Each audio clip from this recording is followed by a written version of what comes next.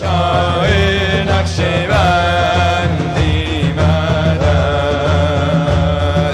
یا شاه نقشبندی مدد الله الرحمن الرحیم اطیع الله اطیع الرسول اولو الامر منکم and always a reminder for myself and abduk al-ajis da'if o miskeen o zalim o jahad and but for the grace of Allah that we're still in existence and alhamdulillah that Surat al-Kahf is an immense ocean of realities and alhamdulillah that technologies that are coming are explaining the Divinely Kingdom. Its use of it may not be appropriate on dunya but its purpose was to explain the Heavenly Kingdom. Those whom understand these technologies and now even children by 1, 2 years old are understanding, by 10 years old they're able to make entire graphic productions for schools and projects. So they're already coming with this code in their reality and the purpose of teaching it, it shows Allah's kingdom. In the last days thy kingdom come and Allah's will will be done and that's with the arrival of these heavenly souls and heavenly personalities and the hukum and the government of the heavens begins to open upon this earth. The technology shows everything. This concept that some mentioned of quantum entanglement and then when you make your tafakkur and contemplate that now Allah is giving for these scientists to understand this malakut, this world of light that awliya teach and tariqas propagate. And not to be too technical but they found that certain particles entangle like in the physical world relationships and they call entanglement that you're so involved in your relationship of love with your spouse, your children, you're in every aspect of their life. They found similar in the atomic and particle level. That if these particles come together and get entangled, they found no matter the distance, close or far, what happens to one can be immediately seen on the other. Their quantum, their light reality, quantum means the study of light. Their light reality, they're mimicking these particles they understood.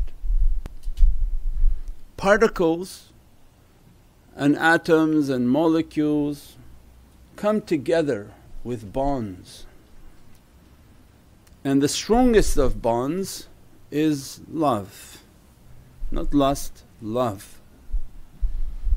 And what Prophet gave to us, Allah gave to us quantum, kuntum in tuhibbunallah fatabiyuni kuntum tell them if they want my love fatabiyuni to follow you and I will love them. They will be entangled in the Divine reality of La ilaha illallah Muhammadun Rasulullah the original entanglement. This is the secret of our whole existence that Muhammadun Rasulullah powered by La ilaha illallah. La ilaha illallah by itself we are not there we don't exist at that level. Our existence because you're not in La ilaha illallah, it's a phrase that is self explanatory. La ilaha illallah means nothing but Allah Where we existed is the entanglement in which Allah brought the particles of Sayyidina Muhammad and gives to us, فَاتَّبِعُونِ follow this relationship and reality of light and it will dress you in its entanglement. As Allah is dressing with the love He has for Prophet hence giving its qudra and its power. Giving then, in Allahi wa malaikatuhu yusalluna ala nabi Allah's zikr is now that power, its entanglement is the whole movement of this ocean coming together and everything manifesting from that. In the world of light, when you come and form a bond of love, the light that you bring, because no longer we're talking physical, but as soon as you have a bond of love with somebody, their light is coming and being entangled within yours, diffused within your light. This is still the world of form because light has a form, you're seeing it. But deeper than the light, there's an energy. And in the energy are these particles and atoms, that's why we don't see atoms, we see light. But where there's light, there are atoms. Where there are atoms, there are energies. So when the sense of madad is coming, what's happening? Is that you're calling for a light, you're calling for this reality and lights to come, and you're hoping that your light will be entangled, mixed and diffused.